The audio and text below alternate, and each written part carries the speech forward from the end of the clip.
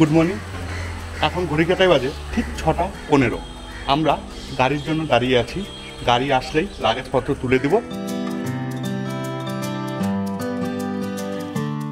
আমরা আগে থেকেই একটি বোলেরো গাড়ি ভাড়া করে রেখেছিলাম। সঠিক সময়ই আমাদের তুলে নিল গাড়িতে। বোলেরো করে আমরা প্রথমেই পৌঁছাবো মালদা স্টেশন। আমার বাড়ি থেকে মালদা স্টেশনের দূরত্ব প্রায় পঞ্চান্ন কিলোমিটার। প্রায় ঘন্টাখানেক জার্নির পর গাড়ি আমাদের পৌঁছে দিল, মালদা স্টেশনে।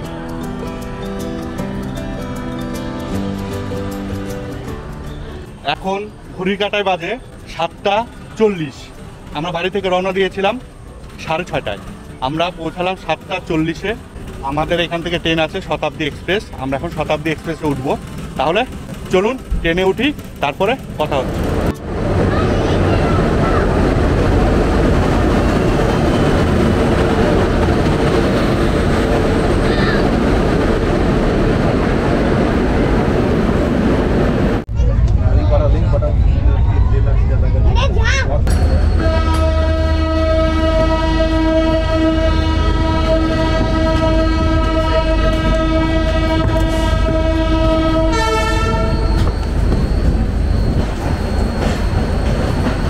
এখন ঘড়ির কাটায় বাজে ঠিক আটটা পঞ্চাশ।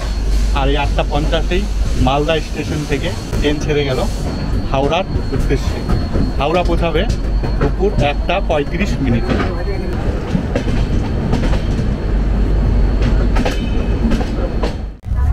ফারাক্কা ব্রিজ। প্রচুর জল এখন।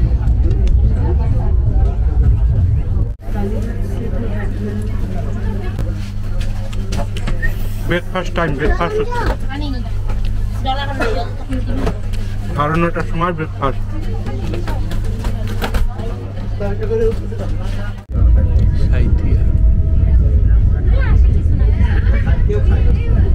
আমরা মালদা থেকে হাওড়া যাচ্ছি, Howrah Shatabdi special train number zero two eight four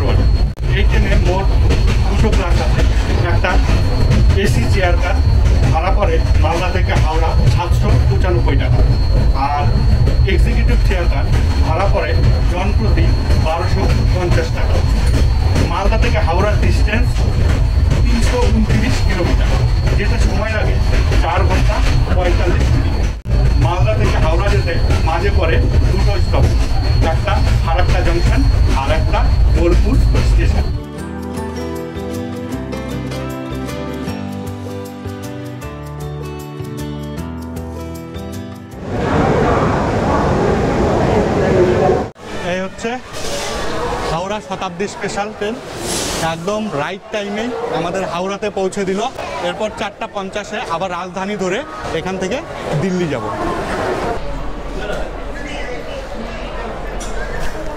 Howrah স্টেশনে পৌঁছালাম একটা পঁয়ত্রিশে, আর আমাদের এখান থেকে দিল্লির ট্রেন হচ্ছে চারটা পঞ্চাশ। ততক্ষণ আমরা এই ওয়েটিং রুমে ওয়েট করছি। এরপরে যাব লাঞ্চ করব। লাঞ্চ করে আবার ওয়েটিং রুমে রেস্ট নিব, তারপরে সময় হলে পরে ট্রেনে উঠবো।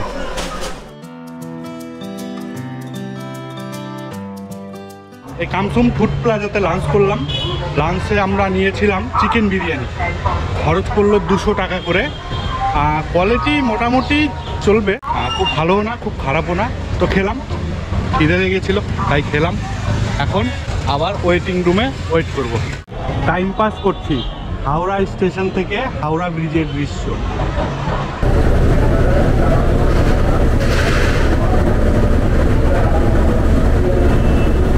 Howrah AC special train train number zero two three zero two. এই ট্রেনে করেই আমরা দিল্লি যাব। আর ট্রেনটির রাইট টাইম হচ্ছে চারটা পঞ্চাশ। এখন বাজে চারটা পঁয়ত্রিশ। আমাদের আমরা হচ্ছে এ ওয়ান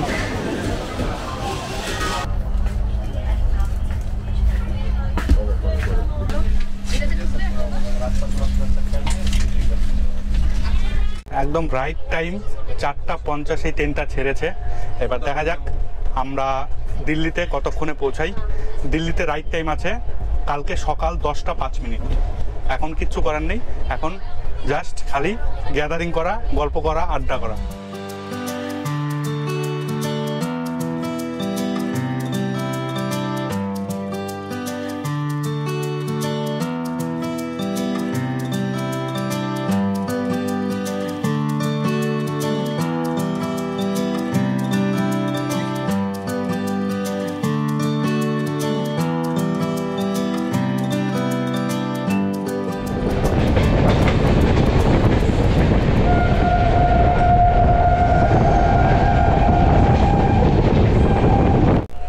এসি কামরাতে এই হচ্ছে সমস্যা।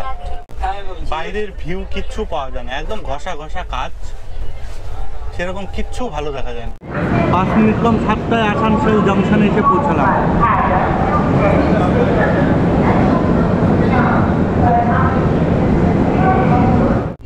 এখন বাজে হচ্ছে নটা পনেরো, আর আমরা এখন ডিনার করছি। ডিনার আমরা অর্ডার দিয়েছিলাম। এক প্যাকেট ডাল চাউল আর এক প্যাকেট রাজমা চাউল। এবার আমরা ডিনার করছি। তবে ভালো, আমি করলাম অর্ধেক অলরেডি করা হয়ে গেছে, খুব সুন্দর। রাজমা চাউল দেড়শো টাকা, আর ডাল চাউলও দেড়শো টাকা। তবে কি একটা সবজি টবজি দিলে ভালো লাগতো? এর ম্যাঙ্গো পিকেল দিয়েছে, এর সাথে। এটা স্বাদটা আরও বাড়িয়ে দিয়েছে, খুব ভালো লাগছে। তাহলে আমরা এখন ডিনার করছি। আর ডিনার করে আজকে আর দেখা হচ্ছে না। দেখা হচ্ছে কালকে ভোরে। গুড নাইট মর্নিং এখন বাজে দশ মিনিট কম, সাতটা। আর আজকেও ট্রেনে, দশটা পাঁচ অবধি ট্রেনেই কাটাবো। তারপরে দিল্লিতে নেমে যাব। এখন যাব, ব্রাশ টাশ করব, ফ্রেশ ট্রেশ হয়ে তারপরে আবার দেখা হচ্ছে আপনাদের সাথে।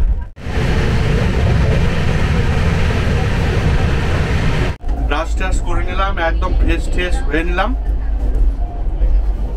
এখন ব্রেকফাস্ট করব।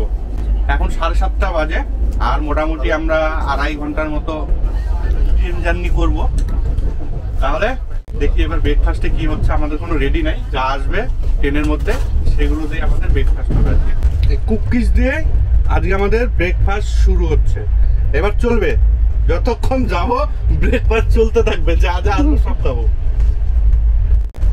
বিস্কুট খেলাম, এখন এখন চা খাচ্ছি। এই চাটার দাম হচ্ছে দশ টাকা। তবে চাটা মোটামুটি ভালো। মিষ্টি কম আছে এবং কোয়ালিটিও খুব একটা খারাপ না। মানে এমনি ট্রেনে সচরাচর যে আমরা চাগুলো খাই, তার থেকে বেটার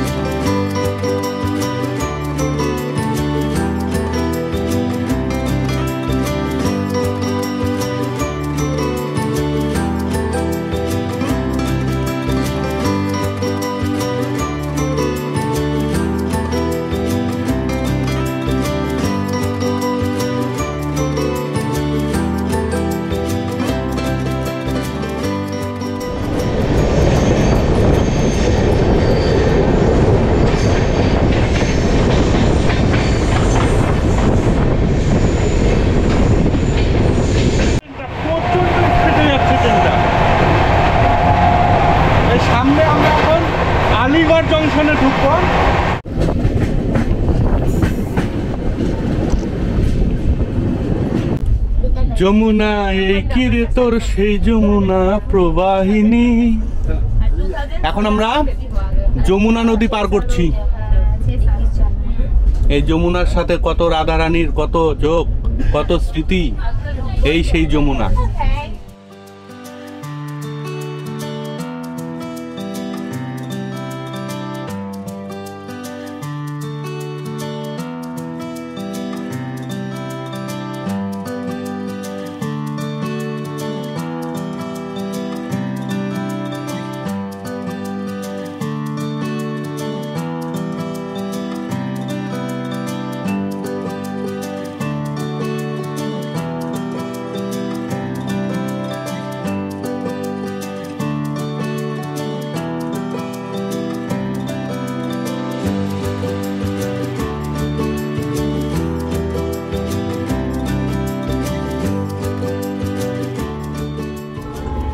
গাজিয়াবাদ স্টেশন পার করছি। এখানে কোনো স্টপেজ নেই এই ট্রেনে জাস্ট একটু স্লো করেছে।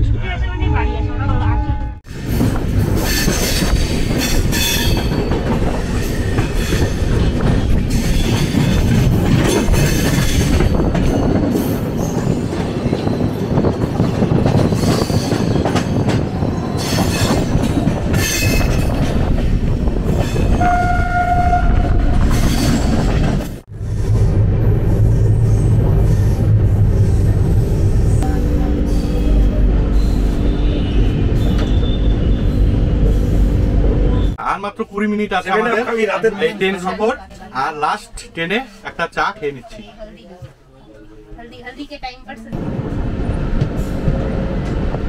তিলক ব্রিজ।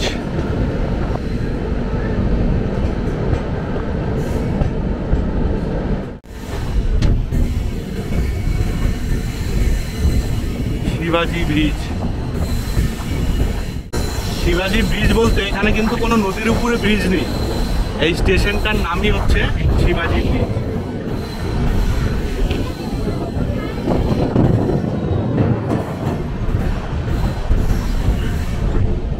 ব্রিজ প্রায় চলে এসেছি, আর একটু গেলেই আমরা নিউ দিল্লি স্টেশনে পৌঁছে যাব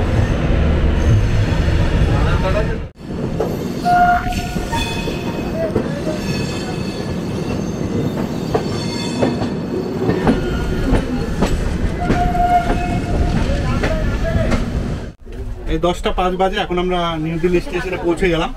এখন লাগেজ টাগেজ বের করব। প্রচুর লাগেজ হয়ে গেছে, চার পাঁচটা লাগেজ এবার লাগেজগুলো নিয়ে নামবো, নেমে একটা হোটেলে ঢুকবো প্রথমে। তাহলে চলুন আগে হোটেলে যাই। এখন বাজে দশটা দশ। এই দিল্লি স্টেশনে পৌঁছে গেলাম। এখন যাব হোটেলে। এবার লিফটে চলো।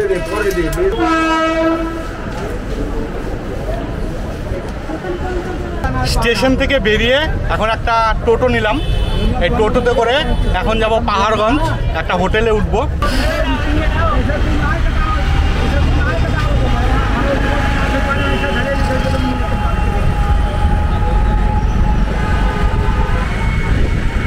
দিল্লিতে, পাহাড়গঞ্জে প্রচুর হোটেল আছে। দেখুন বেশিরভাগই হোটেল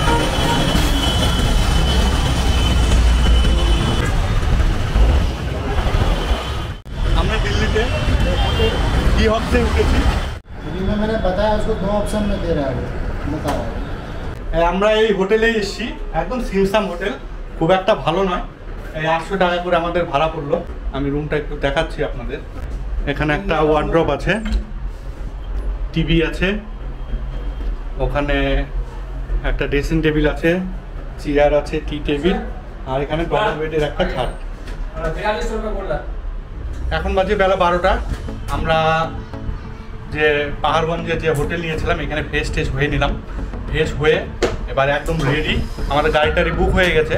আমরা গাড়ি বুক করেছি আর্টিকা আমাদের টোটাল সাইড সিনটা করাবে ভাড়া পড়ল একুশশো টাকা পার গাড়ি। তাহলে আজকের ভিডিওটি এখানেই শেষ করছি। দেখা হচ্ছে আগামী পর্বে। আগামী পর্বে নিয়ে এসেছি দিল্লি সাইট সিনের ভিডিও। আগামী পর্বের ভিডিও নোটিফিকেশান সবার প্রথম পেতে এখনই আমাদের চ্যানেলটি সাবস্ক্রাইব করে পাশের নোটিফিকেশন বেল বাটনটি অন করে রাখুন। ভিডিওটি ভালো লাগলে লাইক কমেন্ট ও শেয়ার করবেন। Tata bye bye